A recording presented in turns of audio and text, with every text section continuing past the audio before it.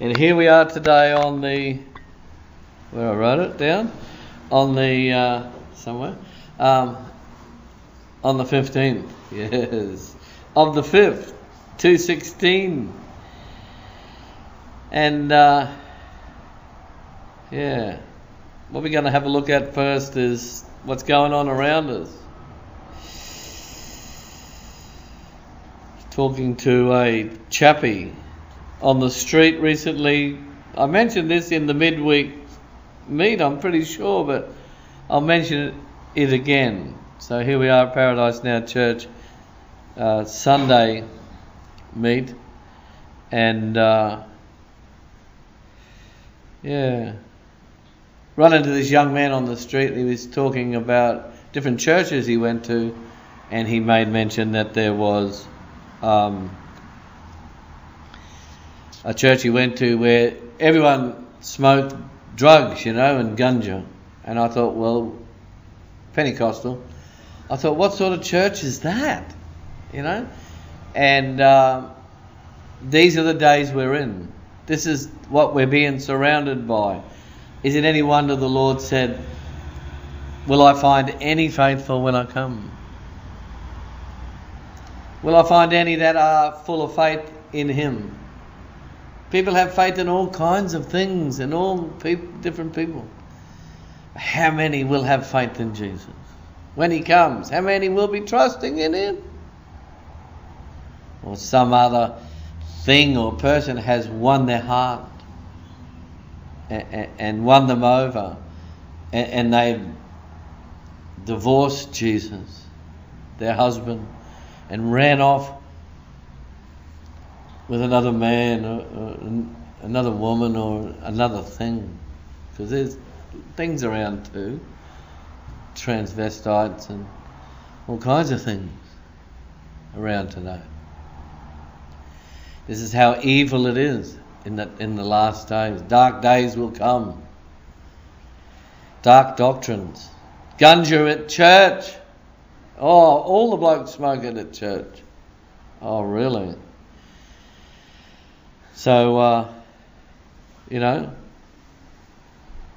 we need to be grateful that we have a place where we can go and stand on holy ground, where the truth is spoken and the numbers are few, because few find the narrow gate, because few are looking for the narrow gate. Few are looking for the truth. They want a version of, of the truth which is not able to save. Can someone say amen? I don't know how many avid, vivid, uh, uh, avid uh, music listeners, I should say, we have here in your spare time. But there's a, a Nick Jonas. I don't know if the young ones know Jonas. Well, he, he's another one that went along with Bruce Springsteen with the LGBT movement and also inclusive Ellen DeGenerated. They're all in there, you know. Uh, signs of the times. The Lord's revealing who's who in the zoo. Um, you know, going into bat for the lesbian, gay, bisexual, transvestite creatures. Right? So we know that we can't fellowship with people of such carry on, eh? And if you don't fellowship with these people and go along with this this new movement, which is huge, unbeknown to most, huge movement, the LGBT movement. It's another LGBT movement is another name for Sodom and Gomorrah, arising uh, like a phoenix from the from the, ruins. It's another Sodom and Gomorrah movement, and uh, the last Sodom and Gomorrah movement, only three escaped: Lot and his two daughters. Boy, oh boy! I mean, it's it, it's it's rough days, isn't it? As it was in the days of Noah so shall it be before the coming of the Son of Man. Jesus, the Christ. They'll be marrying and giving in marriage. They'll be eating and drinking. That's all we see on TV, and yeah, isn't it? All you see is wedding gowns and cheerleaders whinging about their gowns went brought forth, the, the stitching come undone or something, and uh, paying top dollar for all this stuff, and um, food, food, glorious food, you know, food. You just see so much food. You don't even need to buy anything to eat. You just turn the TV on and look, and you you feel bloated just looking at it. You know, just you know they got burgers. You needed a step ladder to um, lay hold of. I was looking at the number 666 the other day, and it's, I came across a, a translation of six, the number six. Apparently, uh, in the world of sorcery, uh, six is said to be a mother number. Isn't that strange? And you've got the mother church, uh, who actually rides uh, the 666. Right? The mother church, the Roman Catholic Church, rides, rides the beast. And the beast is quite happy for her to be on uh, his back there, riding, you know, down the road there, happily. But we know by the scriptures that the day will come when that beast will turn around and devour the church, the Roman Catholic Church, and all associated. Uh, with um, with her. Okay? We're in the last days uh, with a great decline in manhood. Men are not men anymore. You know, they just don't have that that that fortitude, the backbone to stand up and call a spade a spade and not a great big shovel. Hey? And just say, look, this is the way it's going to be, like it or lump it, you know, that's the front door, that's the back door. The windows are open too, if you're in that much of a hurry. Uh, but the, the Jezebel whore church, the Roman Catholic Church, matriarchal mama, dominating the scene across the globe. See? Uh, with the mother numbers, 666, the mark of the beast, mark of the beast, the image there's a lot of images out there of um, of what's coming, and and people. You know, let me say, when you, when I came to the Lord, the Lord told me I have to get rid of my image because it was a beastly image. You know, it was devilish. I had to get rid of but it's hard for a man to shake. He, he, every man's got his image. You know what I mean? And it's all Adamic and it's all satanic. Until we come to the Lord. You know, I had the, you know, the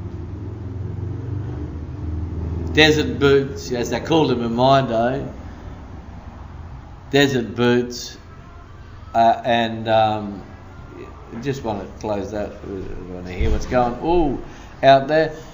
Desert boots, the jeans, you know, the, the Levi's in my day. Levi jeans and the Jacky Howe's singlet, you know, and show a bit of muscle there. And that was it, you know, that, that was my image. Motorcycle, you know, gunja and um, whiskey, and that was the image. And the Lord said, You've got to get rid of that image. And uh, I just ran at it, you know, head first and ran at it and just, I just went baggy pants and, you know, Vinnie's shirt sort of thing and uh, you know covered myself up and just didn't entertain any of the places at all. Forgot about there was even a night time, you know, and didn't worry about that because I'm a child of the day now, and, and that's where uh, I operate in the day. So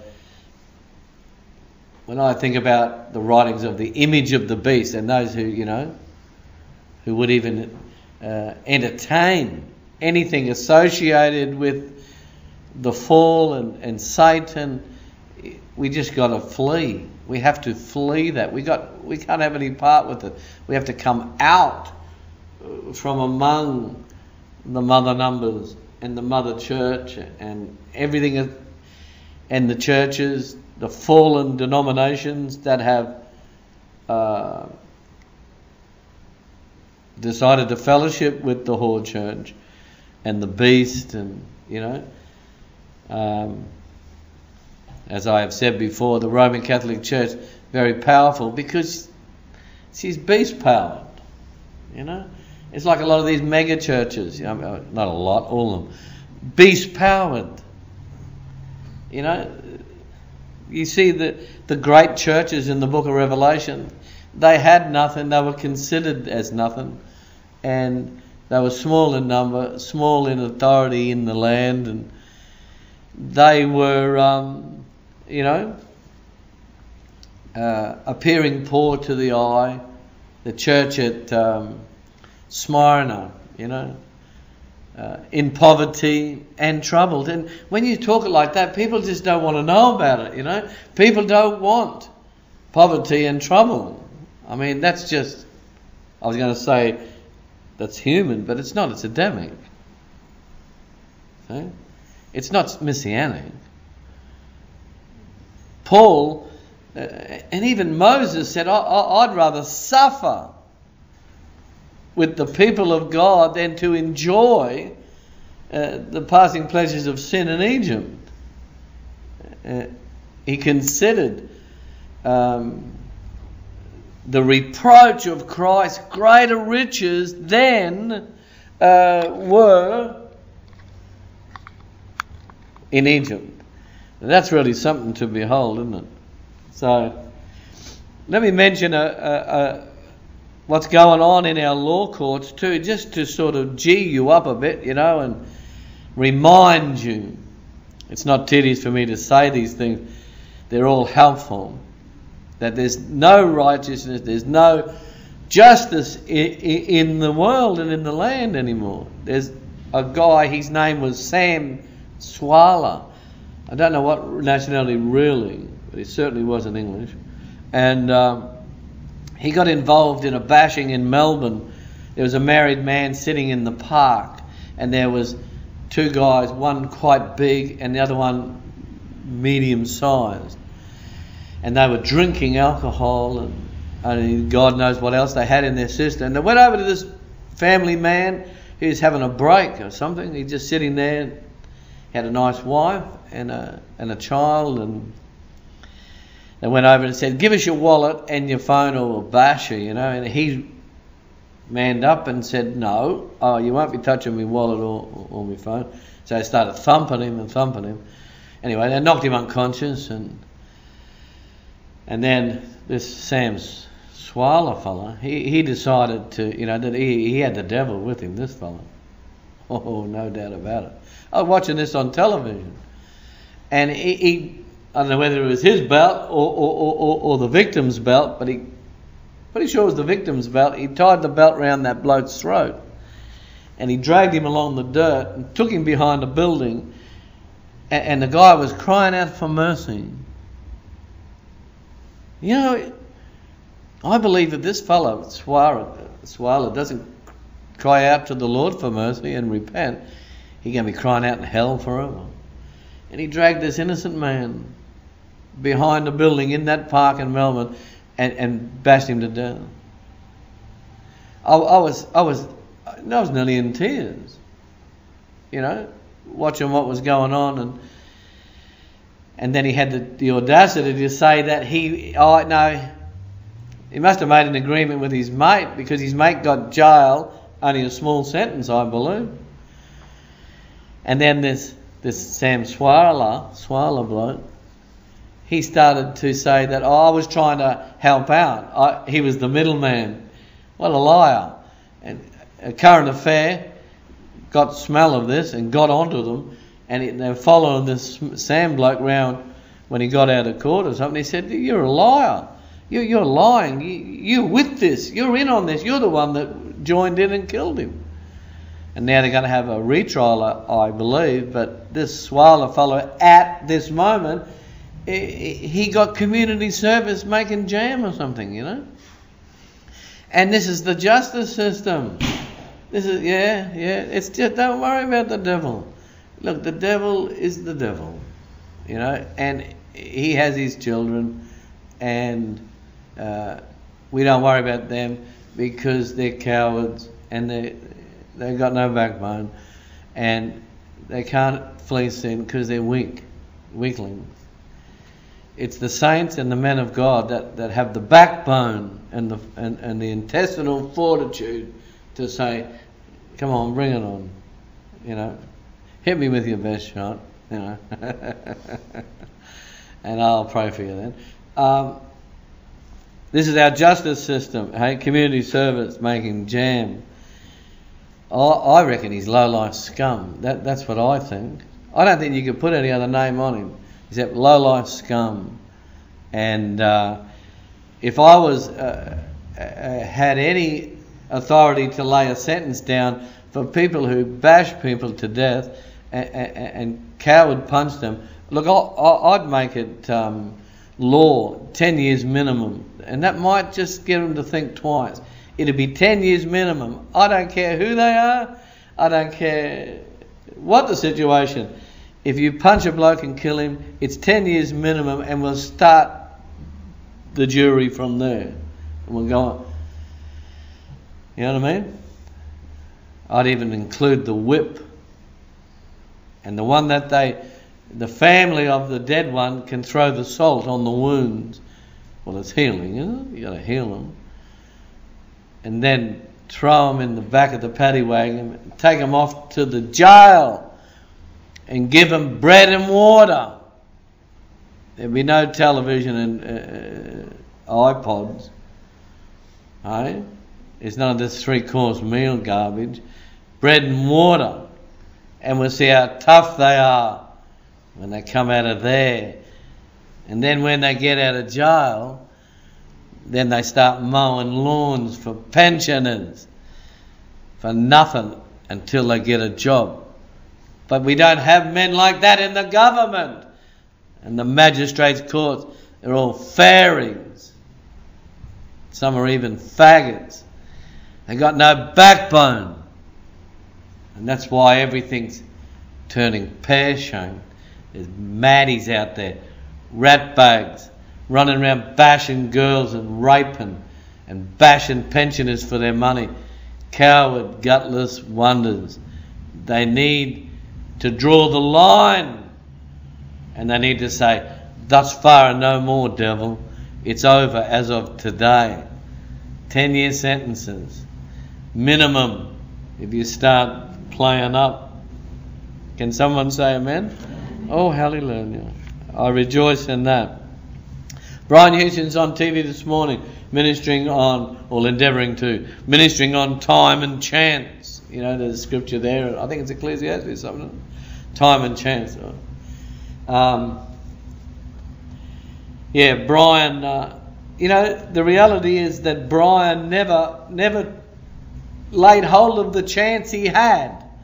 Brian Houston never laid hold of the church, uh, the, the chance he had to clear his church and to clear the foundations of Hillsong because the foundations of Hillsong were laid by a serial pedophile, his father, uh, Pastor Frank Houston, serial pedophile. But Brian passed up that chance and uh, he never took the time to, to expose his father in front of everyone and show that he loved Jesus and justice more than his father, as the scriptures say. You must love the Lord more than your family. Otherwise, you're not his. And he missed that chance. And, he never redeemed that time and that opportunity he had at the Royal Commission of, of child abuse into Hillsong. He missed it all. And he could have cleared the books. And he could have said, Yes, Yes, my, my dad was a serial pedophile. It wasn't one child. And, and then they maybe that. Then they try to turn around and say that the child was enticing Pastor Frank Houston. How low can you go? He should have told it the way it was. And he should have said, yes, he was a serial pedophile time and time and time and time and time again. Just like Pastor Jim Williams of the Assembly of God in Garden City when he was there. Both deceased now, and they just left a trail of, of ruin. And now the courts are saying, well, uh, those who've been abused by these church leaders and that, now they're going to have to pay recompense. And um, this is good news. At least it's something to acknowledge that uh, uh, they've wrecked a, a person's life. Amen. So, Brian is ministering about time and chance. Lay hold of the chance. Lay hold of the time. You know, redeem your time. Hey, he could have cleaned the name. But now that church will go on forever under that banner and under that foundation that a serial pedophile, Pastor Frank Houston, serial pedophile foundation that church is laid on. Now, what sort of foundation is that? I don't believe for one minute God Almighty, the Holy God of Israel, I do not believe that He made that church as big as it is today. I believe the mighty dollar has made that church the way it is today, and the God of this world, Satan. I believe that without a doubt. Without a word of doubt. And I, I have no bones about making it public. Know? So we're going to go into the message today. And we're doing a series. And the series is uh, Christos confrontation, and we've come a long way, week after week after week, and um, I had to even confront those situations this morning relating to justice and, and the courts, and just mentioning to us in this fellowship and making things clear that we're not of uh, uh, uh of uh, the Adamic race anymore. We're, we're not of this violence and hatred and, and uh, whitewashing sin like Brian Houston does. He whitewashed, he got his little roll, Hillsong roller out and whitewashed his dad's record. But the record is clear in heaven. Serial pedophile Frank Houston. It will stand at the judgment stand. And we know he never repented, don't we? We know that. Because he continued repeatedly, repeatedly to, to molest children, little boys, one after the other. But yet they say, Come and see what the Lord has done. I know what the Lord's going to do on the judgment day. So, anyway, and if he did repent before he died, I'm sure Brian Houston would have said, yes, exactly that's what he was. But he did repent, I know he did. But I don't know if the Lord forgave him. Because there's many scriptures to put a big question mark over that. Can someone say amen? So we're in the last days, and this is the last days church. This is a watchman ministry, and we're watching all the time. What's going on around us, what's going on in the spirit, what's going on in the world, what's going on within us. We must have a close watch on our heart and guard our heart with all diligence. So, we're in the Christos Confrontation series. And if we want real results, we're going to have to do it the real way.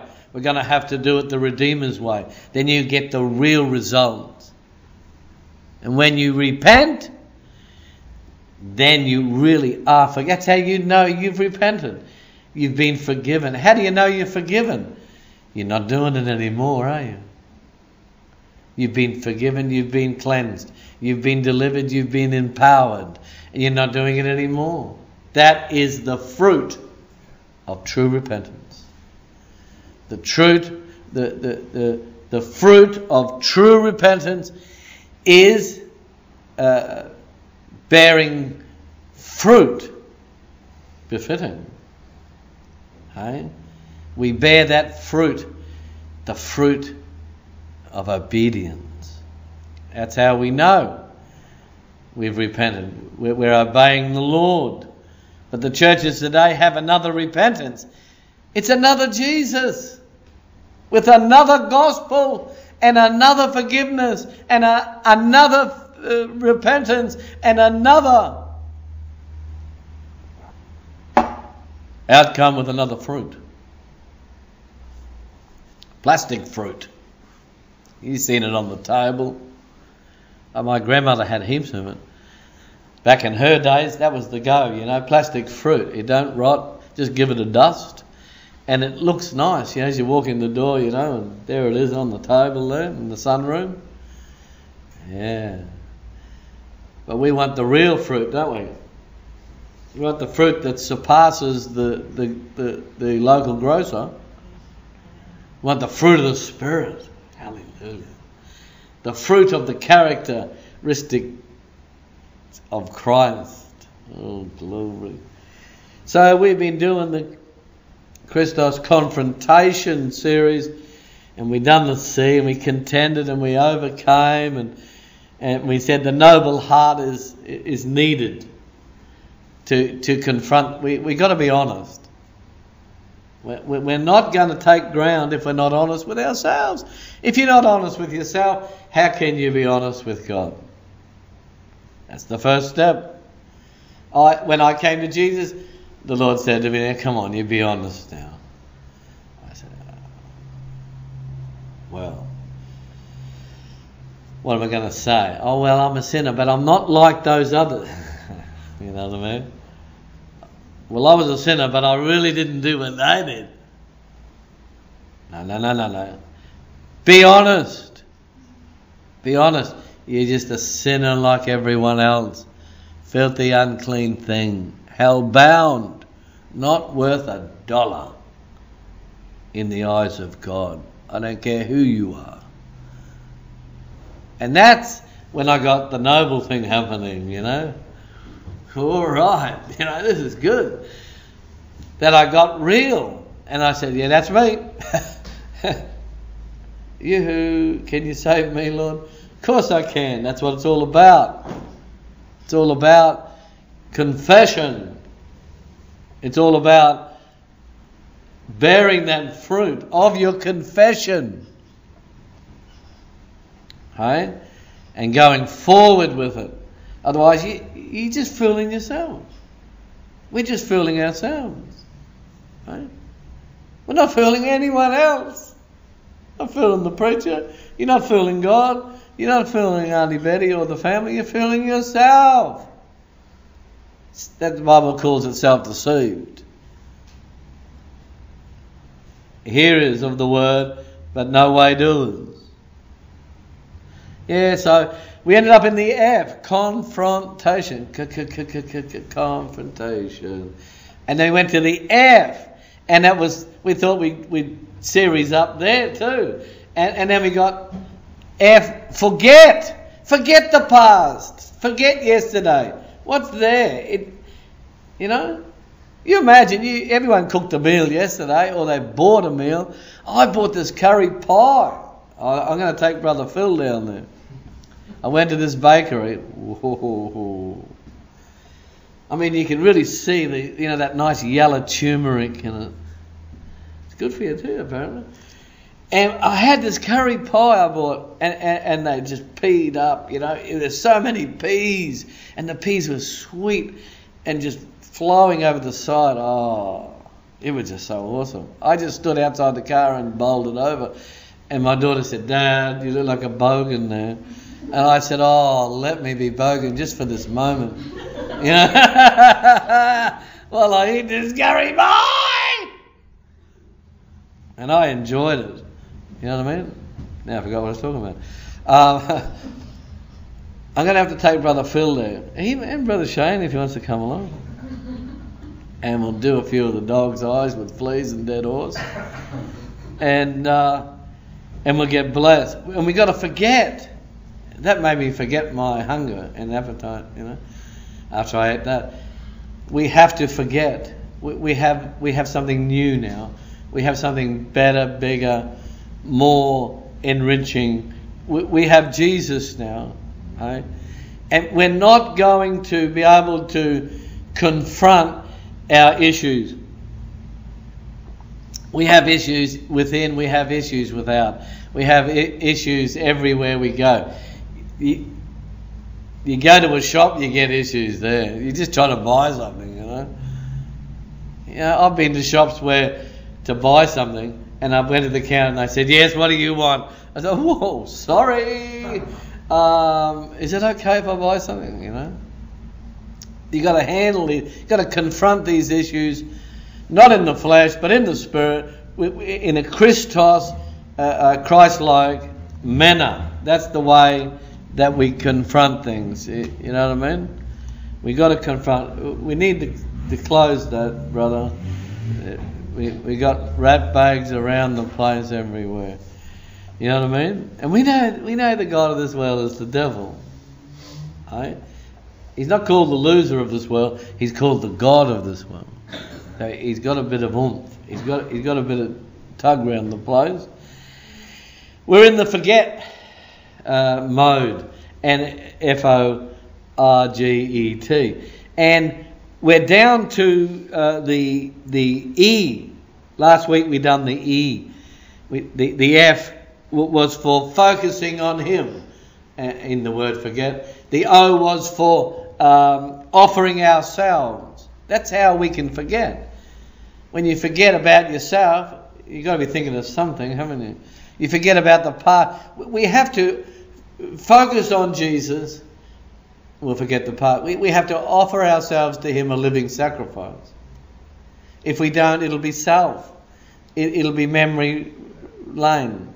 It'll be memory road. It'll be all the past and what we didn't do and, and our family, you know, growing up and, uh, well, you didn't do this and you didn't do that. I'll go away. Go on. Get out of here. Go away. I don't want to hear that past rubbish. What I didn't do, I didn't do, and it can't be changed. But what I'm going to do now and today is what I'm going to do now and today. And your children are growing up, and you say, Look, you're big and ugly enough to sort it out yourself. Too many children dumping their garbage on their parents because they never done this and never done that. Gee, I could say a few things about my dad, what he never done for me. He had he didn't have to do anything for me. He was my dad, and I loved him because he was my dad, not because he'd done things for me. What sort of person is that? They don't know what love is in the world. I'm sure they don't. Always attaching something, you know. We just do it because we love Him, you know. Whoever it is, we just do what Jesus said. I love Jesus. He said, "This is what you do." We just do it, and think about it. Even just to say you'll think about it is to say, "Oh, I've got rebel in me." I've still got rebel in me. And the Lord will cut that out if you stay on the operating table. Can you say amen? Yeah. F O R G E T. Forget. And then um,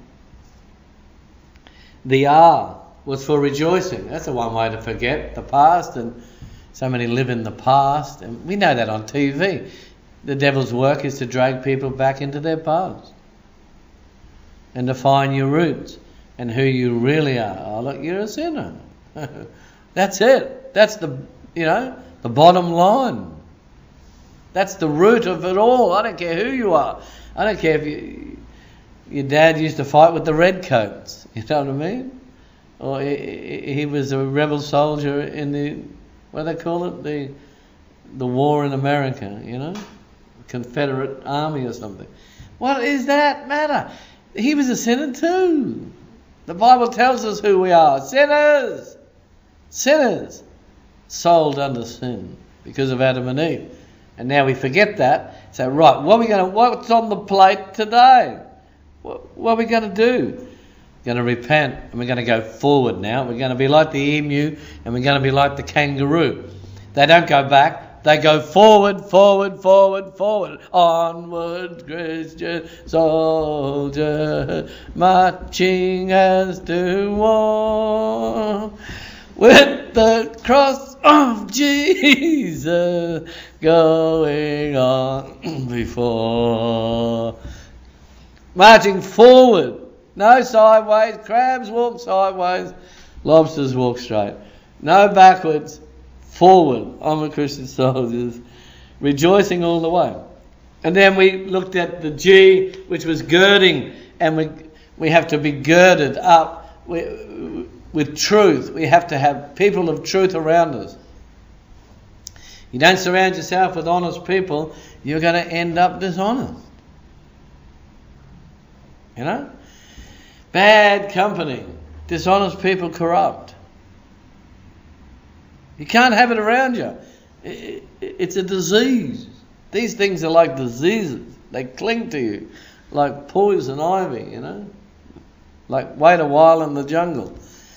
You got to get rid of that. You got to you got to gird up with the truth. You got to surround yourself uh, with the truth and with righteous people and the right atmosphere, which is um, an atmosphere that's approved of by the Lord not some wild uh, nightclub or something. And then we looked at the E, which was last week, experiencing uh, and, and exhibiting uh, the gladness. And we went to Psalm 122 for that last week. I was glad when they said to me, Let's go to the house of the Lord. I, I can't be any other way it, it's 29 years next month for me being glad. I'm still glad today. You know, I, I'm glad right now. And I never finished the gladness that I have. I, I, I never exhibited it all last week, so I'm going to do it this week. So we're doing EE2, not ET2. EE, experiencing and exhibiting uh, the gladness, re- rejoicing. And we, last week we said that glad was experiencing and exhibiting great joy and, pleasure. And it's a pleasure for me, and it should be a pleasure for you to go to the house of the Lord because we know there's something there. Not even so much other people. We know that the Lord's going to say something the Lord's gonna gonna touch us. And to get a touch from the Lord is so real. Can someone say amen? So we need to be grateful to the Lord if we're going to be glad. If we're not grateful, look, no gratitude's a bad attitude. We, the Lord has has exalted me to the place where I'm glad for an apple. I wasn't like that in the world. I was so, you know, hard to please. I was so difficult. The Lord has re, uh, uh, uh exalted me to a place where I'm, I'm very glad, I'm, I'm very grateful and happy for a glass of water. I know the value of a glass of water. And because that's my standard, anything above a glass of water is a bonus. You get that? I don't. A lot of people don't get it. It brings us back to the example of of how the Lord said to pray. How He said pray is to talk. Give us this day our daily bread, not Mercedes Benz. Give us this day our daily bread. See? That's all we need because he's the he, he's the lion's share of our day and ourselves. You get that? You know, he he is the lion's share of our life. He's the biggest part of our life. You only need daily bread because he's he, he's taken over everything else. But so many people today, oh, we want this, we want this, we want this, we want this, we want this, and we want it now. You say, man, you are one empty person. You need Jesus. Then you'll be complete in Him. In Him. So many people are not, not they're incomplete. They're soul searching and, and, and beach surfing and, and they're doing all sorts of things. They're, trying to become famous, you know. Uh, uh, they want to reach the heights of education or it, it's Adamic. One word from Solomon solves it all. Vanity of vanities, all is vanity. It's all, you know, talking to the wind without Jesus, without the Lord at the end of the day. I was talking to a man yesterday uh, and I was saying to him that everything, because I know this man is stressed out.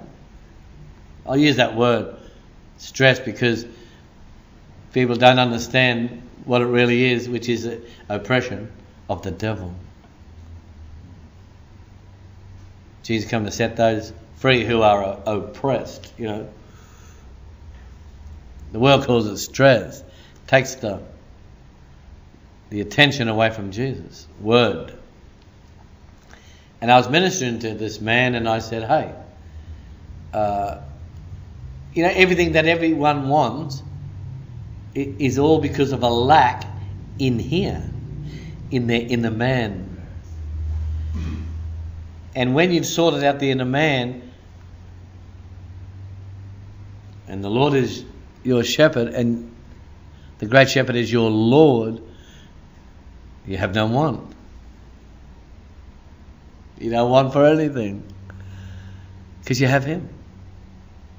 He is your peace. He's broken down every wall. He is your joy. My goal is God. Not, not gold, not silver, not fame, not fortune, not to please people. My goal is God. See? And then it's all, we cut to the chase, don't we? Call off the, the chase. There's no more competing in the rat race. You dirty rats. There's no more. Don't forget the money's under the tree. you call off the rat race. If people say, Oh, haven't you got any money? No. Money, what's that? Everyone needs money, you know. Take your mind off it and you might have some. Put your eyes on the Lord. Seek first the kingdom of God and all his righteousness, and then everything will be given to you. Either Jesus is a liar or they are who say that it's not so. Seek ye first the kingdom of God and his righteousness, and all other things will be added. Added. That's not, lump sum payment. This is added as you need it. Oh, I need this. Oh, there it is there. I need it. Oh, oh I better get this. Oh. You know? It will be given to you. You've Got to believe, but haven't we? It's faith. The Lord doesn't want us to lose faith. So today, we're doing part two on uh, experiencing and, and exhibiting this uh, uh, this gladness that the Lord has given us by His Spirit, initially by His blood, through faith. It's by faith. And if you lose faith, you lose trust, and then all sorts of things happen. Two things cause us to lose faith and trust in the Lord, and we lose our gladness and joy then. Number one, sin. You start to not to believe. The devil comes out, oh, really? I don't believe that. You don't believe that, do you? That's what he said to Eve. He said, You don't believe that? And then the next thing is who's surrounding you. and who's speaking into your head, and you start to lose faith.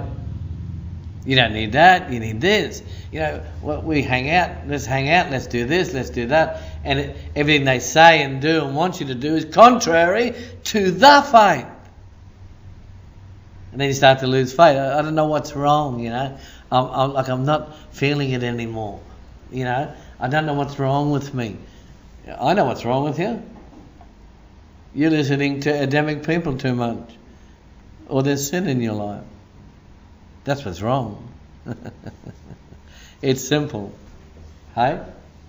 It's simple as.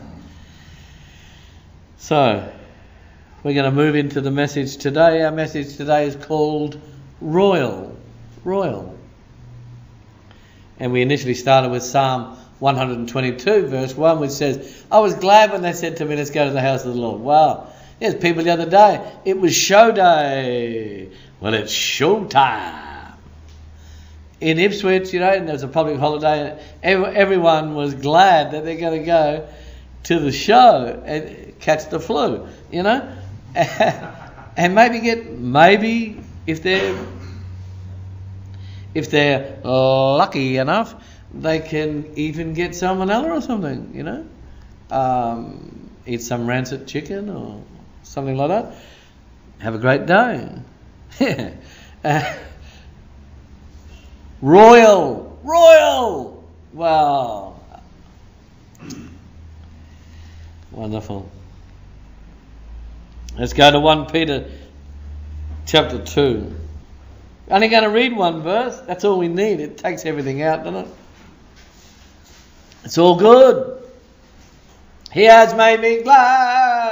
He has made me glad. I will rejoice for He is confronting the situations in ourselves, around us, in our family, in our relations, in our relationships, and in the world, in our minds, in our wills, in our emotions.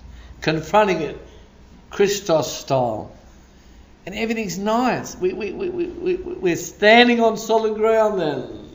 1 Peter 2 9.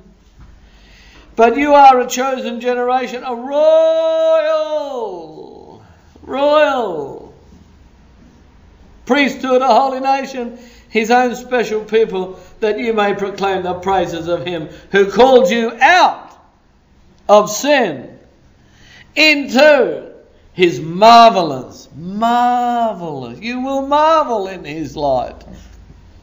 Right? It will be greater than Miss Marple and her detective stories. you will marvel. I marvel. I, I just marvel. I mean, not long now, I'm off to Vegas, and I marvel at that, you know? Oh, Viva Las Vegas. Wow, they'll be spinning those dices and people be yelling and screaming and I'll just walk in there and go, okay, punks. No, I say, okay, hey, I'm here to bless you. what? you know what I mean? I'm going over there to take them the gladness, you know, and hopefully I want to get them in, lock them in into the glad tidings of the goodly things, of the goodness of the good God and, Saviour Jesus. They, they don't have it because I know they don't have it because they're in Vegas gambling and, and, and mauling prostitutes and, and, and they're there um, uh, stealing and cheating and lying. They don't have gladness. Otherwise, why would they go there? I said to a bloke, go to a Baptist church during the week. He was having something to eat, and I was having a cup of tea, and I just passed by. And, oh, there you go. There's a blessing for you. We got talking. And he said, Oh, it's like this, it's like that. I said, Hey, you know? That's because of what's going on inside you. He was a Baptist, you know? Um, of the Baptist Church, not of John the Baptist, not of that line of character. And he was a mess. Just as I spoke to him for 10, 15 minutes, went on to 20, half an hour even. And I just gave him a few testimonies what's going on, and he started to get glad, you know. The gladness was coming off, you know. And we started to be glad lads.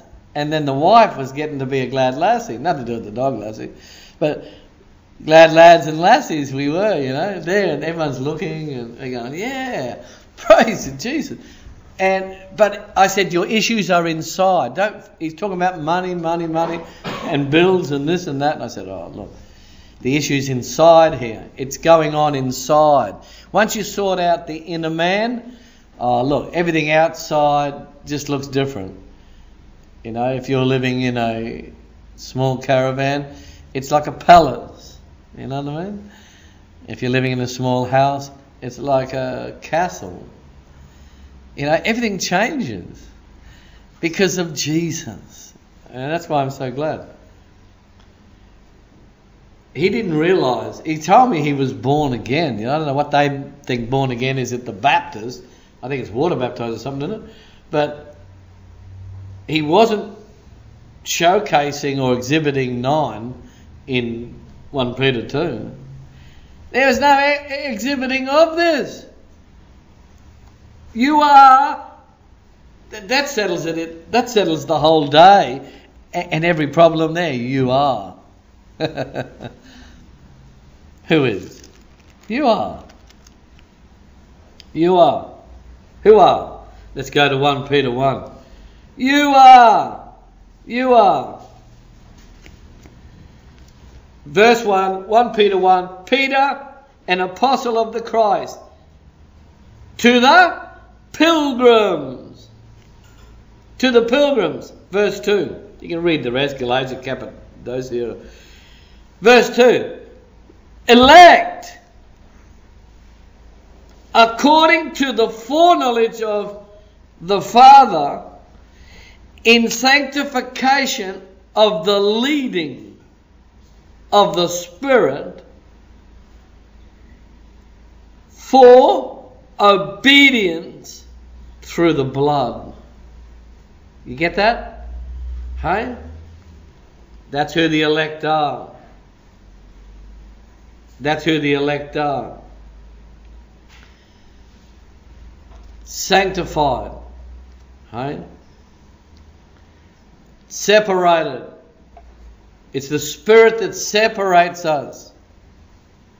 It's, it's the Holy Ghost leads us away from the Adamic way. Someone say amen. amen. It's the Holy Ghost. But, as it says, only on obedience.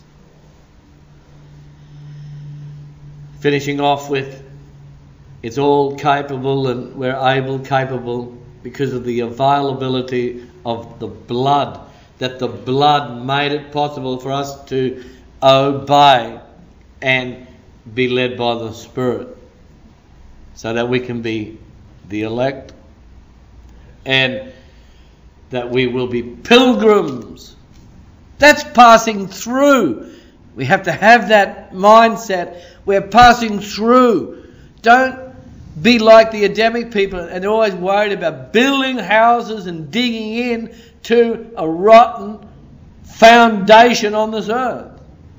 Because the foundation of the earth is faulty, the scripture says. We are pilgrims. Howdy, pilgrim, and we're passing through. See that? We're passing through. We're not bogged down. I don't have this. I don't have that. You're looking at the material. You're looking with your eyes, and you're not looking with the word. We have to take things on. We have to take things on through the word. We see things according to the word of God. What the Lord has said. Put on His mind His word. That's our mindset, His word. That's the way I think. That's the way I am. That's the way it is. That's the way it always will be. And then you won't get weary in your soul. You, you won't be bogged down. You, you, you won't be miserable. You'll be saying, I was glad. I was so glad. I was happy. Oh, hey, can't, can't wait. You'll be ringing up the brethren. Can't wait for Sunday. S O N D A Y. Can't wait to get there. Wow, what's the Lord going to say through the earth vessel this Sunday? Woo-hoo. Man alive, how blessed are we that we are chosen for this. How blessed are we that, that we are uh, according to the foreknowledge of Father. Sanctified in sanctification of the Spirit. Hey? What do you think of that? Let's go over to 1 Peter chapter 1 and 22 going a bit further on 1 Peter 1:22 Since you have been purified since you have purified your souls by obeying the truth through the Spirit. In sincere love of the brethren, love one another fervently with a pure heart, having been born again, not of corruptible seed of your parents, not of sperm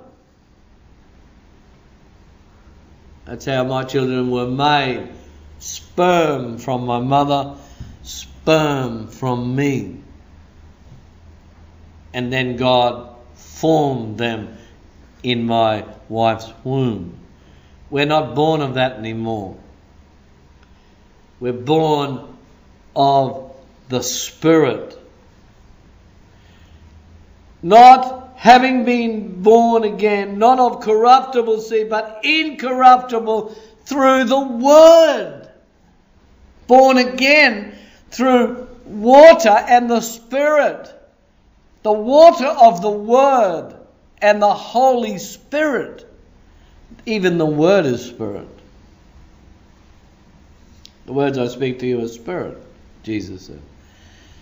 Power of the Holy Ghost behind it all empowering it. Born of a new family, born of a glad household. Not some miserable, broken down household that's living in the past. Born of the household of God. Royal. You are royal. You are. And trying to find out who they are. Just call me royal. Just call me royal in the morning, angel. Just make my tea before you go, dear, baby. Purified your souls through a bit. It's not going to happen without obedience, is it? Oh, you don't have to obey, you know. Like, you know, saved by grace. You unclean thing. Get out of here purified your soul, mind, will, and emotions by obeying the truth. Obeying.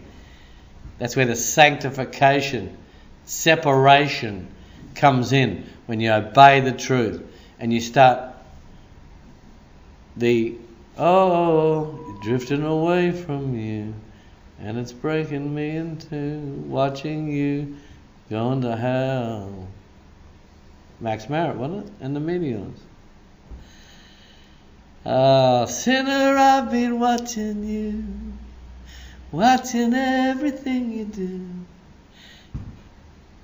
And it's breaking me into watching you obeying the devil. Oh, slipping away from me. Oh, slipping away. Obeying the truth. So our message today is royal, royal, royal, royal. Royalty. You are a chosen. That makes me glad. I can exhibit that gladness. Hey, I can take that on. I, I, I can personalise that. I, I know who I am. I'm royal. I'm chosen. Eh? Fancy that. I can't get over it. I can't stop laughing in, in, in the lounge. I can't, I'm making a cup of tea and oh, oh man, this, and the cup of tea's strong. It's got you know a little bit of sugar there.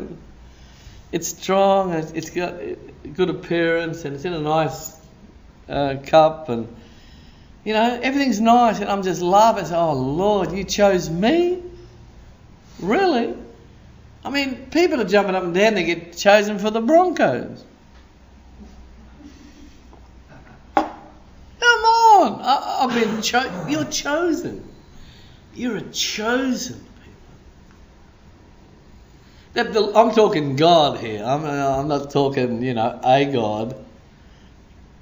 I'm talking God chose me. Oh man. I mean, I'm going to go over there to Vegas, and I, I, because I've experienced and and and I am experiencing,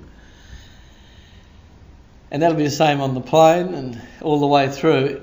The gladness. I, am just going to walk into Vegas and say, "Man, I am glad," and just wait for someone to say, "What about?" I say because I don't gamble, and I don't smoke cigarettes either.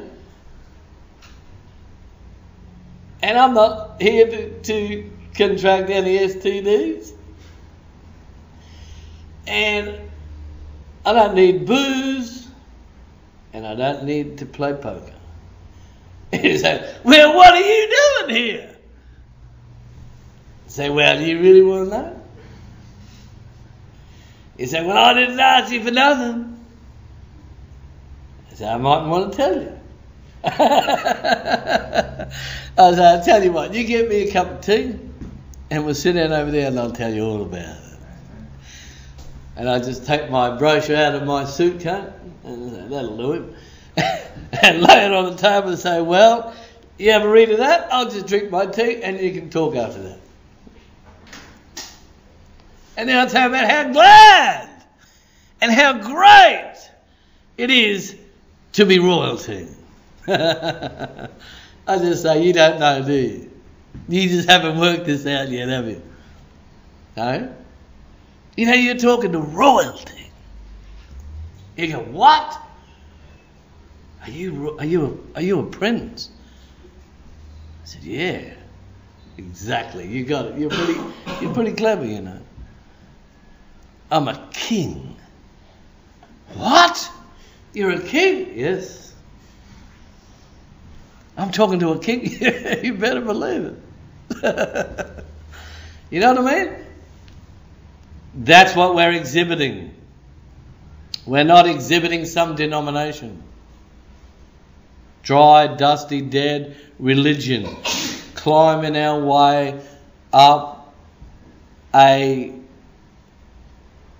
pyramid ladder with slime on it to a material teepee. You know what I mean? That's not ours. That's not ours. You just say, you keep your slimy pyramid of progress because I'm going to be pilgriming on with the Lamb. Royal. How many people came here this morning? How many people listening to this message know they are royalty? I guarantee you, very few. They still see themselves as that Adamic person born of a woman who was born in sin. They still see themselves under their Adamic given name. They don't see what the Lord has done. I mean, they build a building in the world today, they put a cross on the front and write Jesus' name on there, and he ain't there. And they say, Come and see what the Lord has done. Yeah, oh, the bank balance is six million, is it? That's right. We owe six million. Uh, come and see what the Lord has done. But we are the ones that just walk up and say, Hoi! Come and see what the Lord has done. Uh, here I am. You know what I mean? Come and see what the Lord has done. you know? You just imagine walking into a casino and yelling out, Hey! Come and see what the Lord has done! Yeah!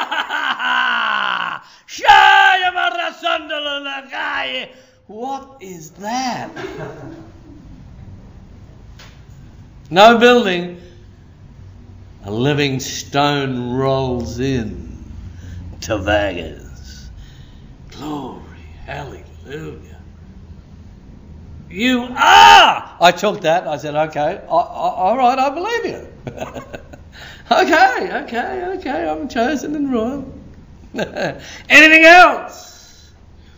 You're in the priesthood. Okay, so there's a catch. Oh, wow. You got to be holy. Oh, wow. This changes things, doesn't it? yeah, you know what I mean? i got to walk in the truth all the time. If I want to be of this generation, the godly generation. Because all the generation before was so ungodly. All the Jewish generation is so ungodly. They were the recorded as some of the vilest people on planet Earth, the Jews. What they got up to, killing, slaughtering their children, and offering their children up on stakes to all kinds of gods. You know? You are a chosen generation. Eh? Chosen generation. Uh, look, destined for bliss. Hey, doesn't that make you glad? I know I'm glad. Hey? You are a chosen generation, royal priesthood. You know, pick me, pick me. I never even said that. He just chose me. And that make you, makes you feel special. I know I feel special. I'm not on special. I feel special. The Adamic are on special. Oh, you can have me. I'm on special, you know. I just down a few tequilas and then I'm on special. You know, I'm anyone's. Ah, ah, ah, ah. Haribo's jellies. Don't touch it. Don't touch it. You are a chosen generation, a royal priesthood. There it is. Priesthood extending into holy nationality now. Extending in. See that? Double emphasis. Royal priesthood holy nationality. What nationality are you? Holy. Oh no, I'm Irish, you know. Uh, I'm English. Yeah, yeah. I come uh, down in uh, where was that again? Bow Bells. Was that it? No, a holy nation his own special people.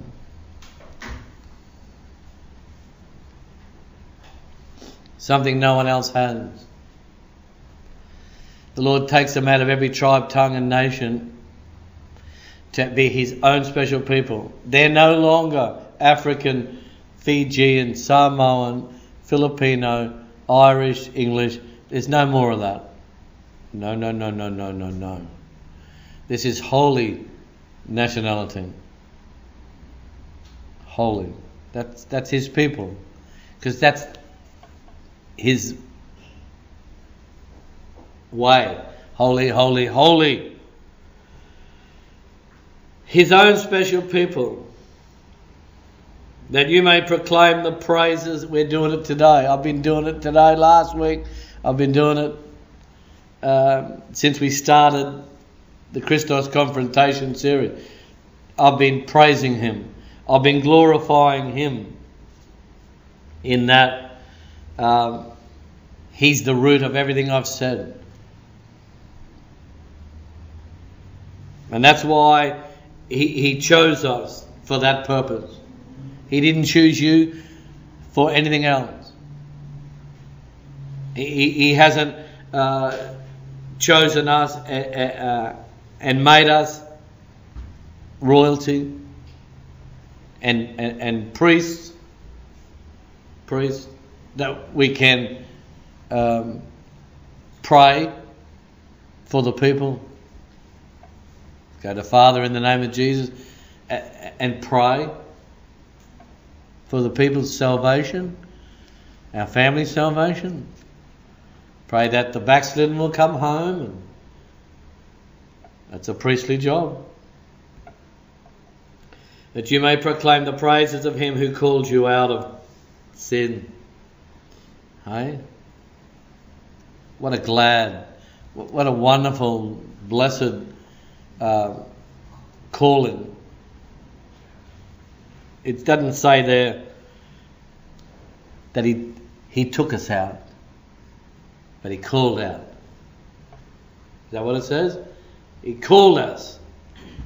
Did we come out? Are we still in the darkness? Because if we're still in the darkness and we're still in the sin,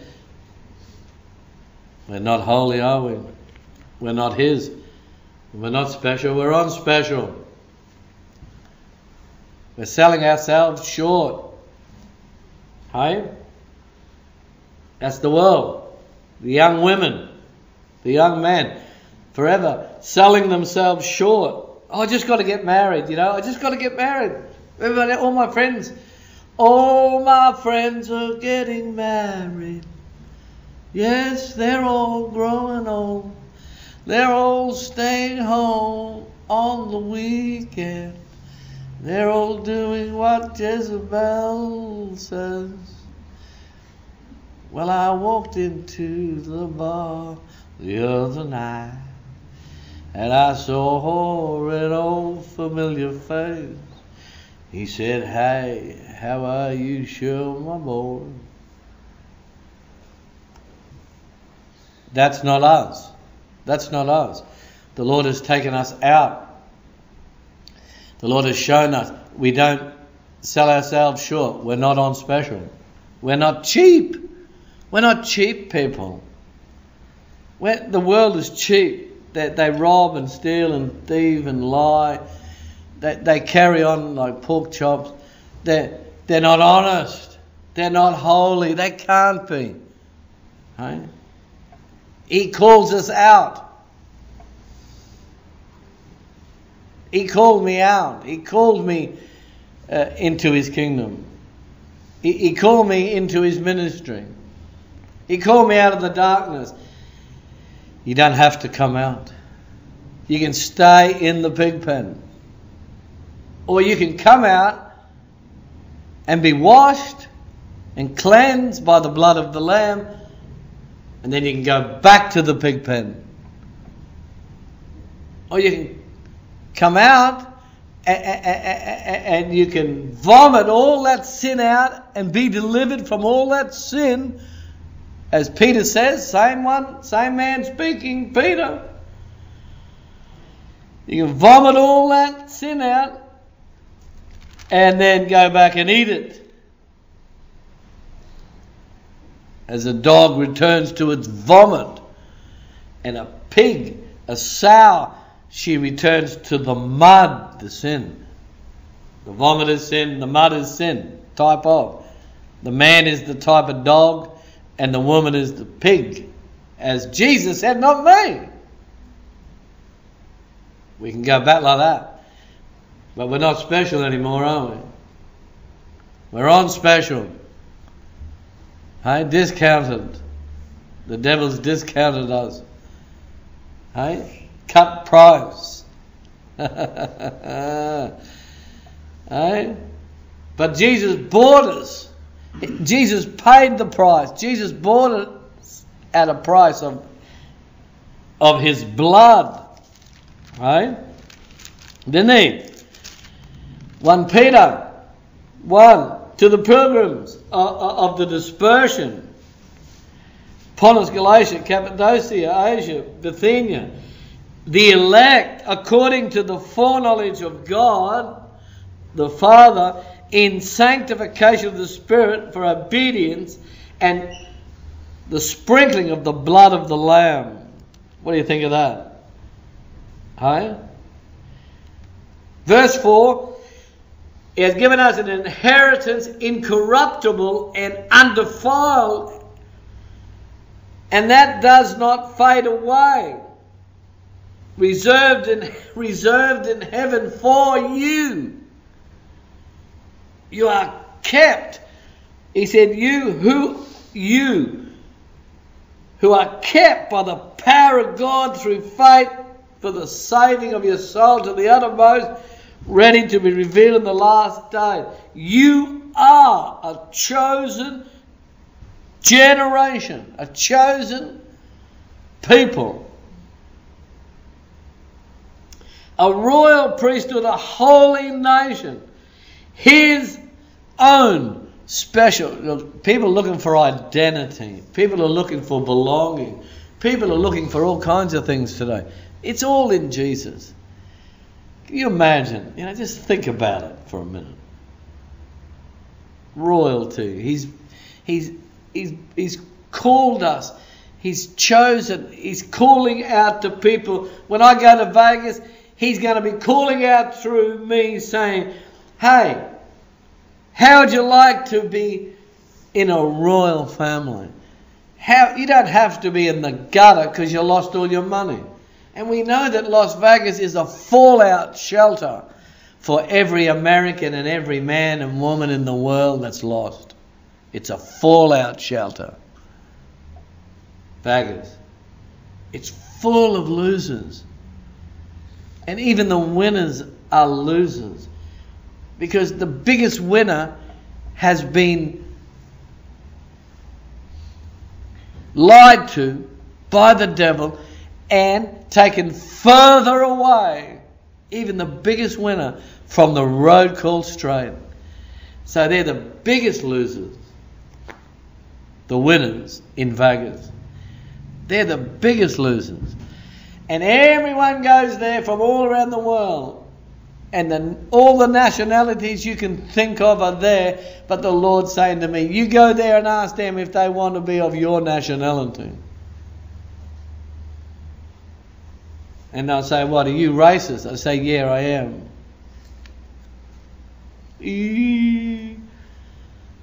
And I'll tell them why. I said, If you're not of the holy nation, you're nothing. Going nowhere except to hell. See that? I'm not racist when it comes to colour and uh, nationality, but I am racist when it comes to Jesus. You have to be of the holy nation if you want to hang out with me. If you want me around, you've got to be of the holy nation. Otherwise, I won't bother with you. That's it. Have no fellowship with darkness or the people of darkness. What fellowship has holy with unholy? What fellowship has righteous with unrighteous? What fellowship has Belial, the devil, with Jesus? The Baptist guy I was telling you about during the week, he said to me, What, you going to Vegas? What, Sin City? I said, Exactly. I said, That's part of why you're so miserable. And you're so bogged down and worried. I said, Because if you do have the light of Christ, you're shining the light in the light. You're not shining the light in the dark. Hallelujah. And the Lord's taken me to the darkest to shine the light. Oh, hallelujah. Jesus, give me a light. Ooh, yeah. I'm to let it shine. Jesus gave me a light. Oh, and I'm to let it shine. Jesus gave me, oh, the, the, the light. And I'm to let it shine, shine, shine. Oh, I'm to let it shine. That's why He gave us the light. Shine in the darkness. They need the blessing down in Vegas. They need to know there's a greater blessing. They, they need to know they can become infinite hands. They need to know they can be glad, lads and lassies, Nothing to do with the dog lassie. They, they, they need to know everything can change in a moment. They need to know that they can leave it all behind and forget the past. They need to know that they can confront the issues within, without, beside them, around them, above them, underneath them, everywhere they go. They can confront it all Christ way and come out glad. They need to know that they can exchange the Sunday gambling scene and, whatever they do on a Sunday, get drunk or whatever, and they can exchange it and say, hey, I was glad when, when Jonesy rang me up and said, let's go to the house of the Lord. Let's go down to the house of the Lord. I was glad. Oh, so glad. Because Brownie was coming round and he wanted to go and get a bag of ganja. I was so glad you rang up and said, Let's go down to the house of the Lord. Hallelujah. Glory.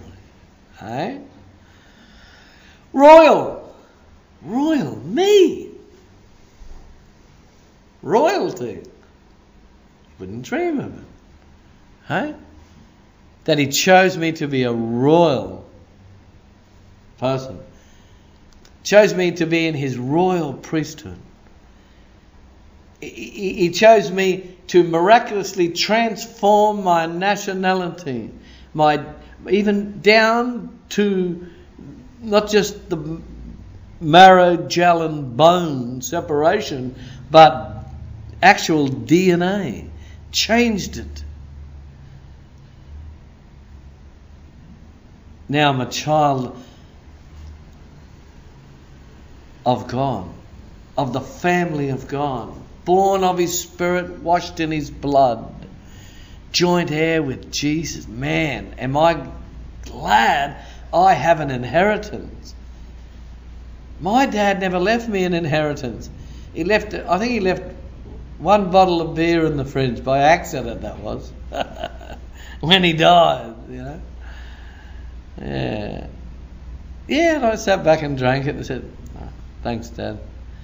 Beauty, mate. You know? But the Lord said, I'm going to give you an inheritance you can't count. But so many people bogged down with earthly inheritance. They're, jumping through hoops and over poles to get it.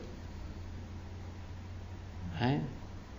When my grandmother died, she had a lot of money and, and a lovely house, and she split it up between the three sisters my mum and her two sisters. And all sorts of things were going on. People going through windows, taking things. And, oh, where's the piano gone? I don't know. The grand piano? Yeah, that was used to be over there. My mother just, she didn't even flinch. She just had a cup of tea and said, oh, well, shows you what they are, isn't it? Shows you what they are, doesn't it? When crunch time, let them have it. It'll be the end of them. Isn't that wonderful? Gee, I like that. And now she got an infinite inheritance because I brought it to Jesus. Brought old mum to Jesus. She said, Oh, of course I'm a sinner. Everyone is. Yes. You can be born again, mum. Let's pray. Let's rejoice. Oh, hallelujah. And she, said, whoa, this is lovely. Well, to get a touch from the Lord is so real. And she was glad, you know. She was glad to hit the grave. She wasn't, oh, I don't die. Oh.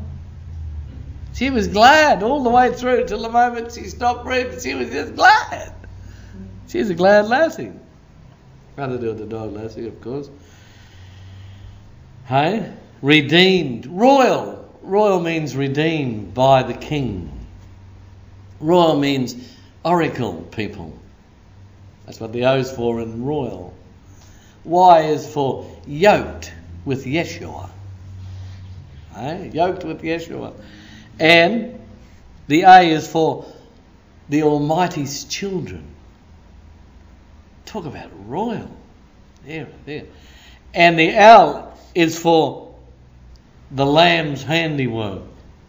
Oh, patchwork quilts we are. Hey, that we're knitted together with truth. Hey? Holy Ghost patchwork quilts. Hey? Warming the society that we're in on a winter's day. All the leaves are brown, the leaves are brown, and the sky is grey. Royal. Let's open our Bibles in the writings of um, Psalm 138, and we'll finish up. Hey? You know, with all this comes accountability. We have to be accountable. Psalm 138, I'll just touch on that. We have to be accountable. You know, we have to be accountable now that we've come into such a great blessing. Psalm 138, verse 1. I will praise you with my whole heart before, right in front of the gods, I will sing praises to you. Oh, hallelujah. All the gods around, you know. I love to do that. There's so many gods on the street, you know. I go out there and I sing praises to my Lord. They say, What's he on about? You should be worshipping money. You should be worshipping Buddha. You should be worshipping uh, the gods we worship. No, I worship Jesus. How great thou art. Oh, there he is again. I will worship toward your holy temple and praise your name for your loving kindness uh, and truth uh, and your truth. We, we continue to praise him, don't we? For he, he gives us loving kindness, he gives us truth. For you have magnified your word above your name. That's how important the word is. You have magnified your word above your name. Wow. Oh, don't worry about the word. We don't worry about doctrine. That's how you know they're of the one world church. Jesus, he puts the word above his name. And the Bible says his name is higher than any other. But he puts his word that's how important the Word of God is, the doctrine of Jesus. That's what we master in, in this fellowship. The Lord called me to master in His Word. And He's enabled me to master and lay hold of His Word like no one else totally far beyond any Bible college graduate because it's Him doing it, not me doing it, not me straining and struggling and studying in the flesh, but the Lord just goes bang. Now go and show forth the praises of me. Go and tell them what I did with you and in you and for you and through you. Go and tell them. Just keep writing, son. Just keep testifying, son. Anything and everything you can find to testify about me. Do it. That's what your calling. That's what I've called you to. Brother Manuel from California is going to write a testimony and send it to us of how he came across this ministry. And when you read it, you say, That is marvelous light. You say, That is amazing. Right? He said, I can't find anyone to fellowship with in America. He said, They're all backslidden, they're, they're, all mixed doctrines, mixed bags, they're all fellowshipping with the whore church, bowing down to um, television evangelists who are lying to them and robbing them. They're deluded. And he said, Then the Lord showed me your little fellowship and your message on the internet. And I traced it all the way through. Glory. Hallelujah. And now we're going to meet in Vegas. Eh? We're going to have a cup of tea It's as simple as that. I'm just going over for a cup of tea, you know, with a couple of brothers in the Lord. Have a cup of tea. And, oh, we'll have to go to the street and see what's going on, fellas. Let's go. and we'll take the royal message down. Telephone to glory. Oh, what joy divine. I can hear the Spirit moving along the line on my royal telephone. You can talk to Jesus on your royal telephone. Right? You can talk to the Lord and you can say, Jesus, you made me royalty. A royalty above the royals of the world, that's for sure. Verse 3, Psalm 138 In the day when I cried out to you, you answered me and made me bold with strength in my mind and will and emotions. How's that? Royal. You're royal. We go out there with that message and say, hey, sin. Sin equals shame, equals hell. That's our message. Sin leads to shame, leads to hell. We have to tell the world it's not going to lead to heaven. Sin will never lead you to heaven. Sin will never find you acceptance and approval of the Most High God of Israel and the universe is plural. No way in the world. We are a holy generation, a royal priesthood. Hey? His own peculiar people to show forth the praises of Him who brought us out of darkness into His glorious light. That's our work, that's our call. The whole church to, to go and show and exhibit and display what we've experienced in Him and with Him because of Him. We go out and tell them all. I'm so glad Jesus lifted me. I'm so glad Jesus lifted me. I'm so glad Jesus lifted me. Singing glory, hallelujah. Jesus lifted me. Satan had me bound, but Jesus set me free. Satan had me bound, but Jesus set me free. Satan had me bound, but Jesus set me free. Singing glory, hallelujah. Jesus lifted me. I'm so glad Jesus lifted me. I'm so glad Jesus lifted me. It's always Jesus. The Holy Ghost always exalts Jesus. The Holy Spirit will always speak of Him. The Holy Spirit will always enlarge upon and exalt our wonderful Lamb, our wonderful Lamb, Lord, Jesus the Christ.